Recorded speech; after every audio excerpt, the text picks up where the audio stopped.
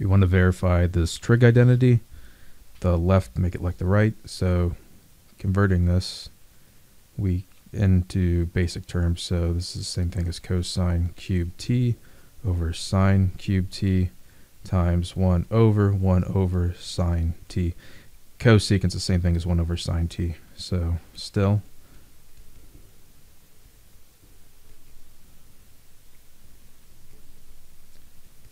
and this becomes just a 2 and this gets canceled out and we're left with cosine cubed t over sine squared t and this can be cosine t and then and then we're left with cosine squared over sine squared which is the same thing as cotangent squared t.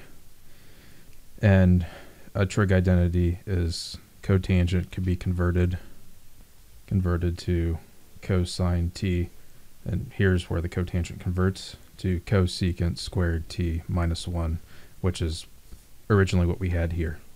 All right I, that proves it. I hope this helped you out. Thanks for watching. You have a great day